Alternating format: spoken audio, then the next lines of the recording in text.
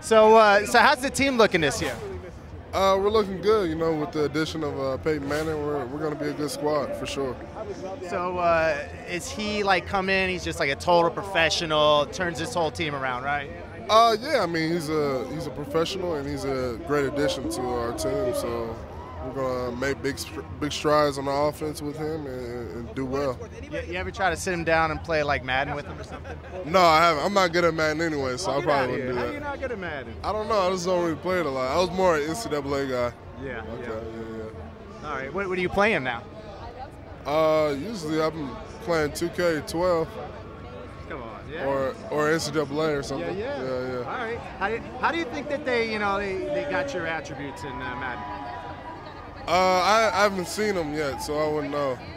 You're good. You're good. You're decent. All right, that's that's good. we can we can make it a little bit better. All right, have fun in there, man.